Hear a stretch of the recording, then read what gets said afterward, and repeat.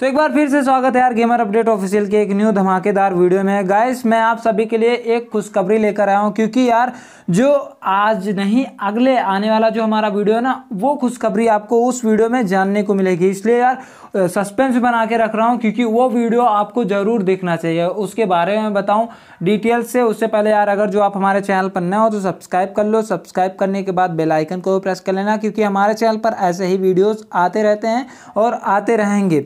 और यार मैंने आज अपने वीडियो के डिस्क्रिप्शन में एक छोटे यूट्यूबर्स का लिंक भी दिया है तो जाके उन्हें सपोर्ट करो, कल वो आपको भी सपोर्ट करेंगे।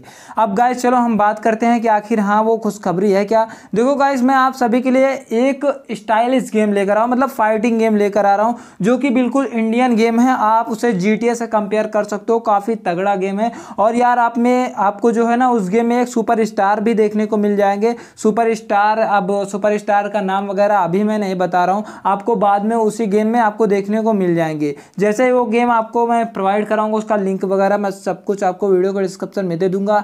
इतना समझ लो, वो गेम जो है ना बिल्कुल ओपन वर्ल्ड है और काफ़ी तगड़ा फाइटिंग गेम है, मज़ा आ जाएगी आपको वो गेम खेलने में। मेरे को पर्सनली मैंने खेला उसे, वो और तभी मेरे को बहुत अच्छा लगा। देखो और उसका रेजुलेशन वगैरह मैं यहीं पर बता दे। देखो, उसका जो रेजुलेशन है ना यार, वो 200 सौ के पार है मतलब काफ़ी बड़ा गेम है और यार उसमें फाइटिंग के सीन जो है वो काफ़ी तगड़े हैं।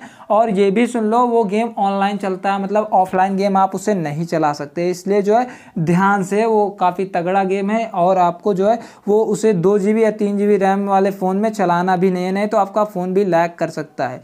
तो आपको बस यही बताना था। चलो, अब मिलेंगे नेक्स्ट वीडियो में। आपको सब कुछ ध्यान से समझाएँगे कि हाँ नेक्स्ट वीडियो में क्या है, कैसे है वो गेम, सब कुछ आपको तगड़े से समझाएँगे। चलो, मिलते हैं किसी और वीडियो में किसी नए टॉपिक के साथ। तब तक के लिए टेक केयर टाटा। ध्यान रखना अपना मिलते हैं किसी और वीडियो में।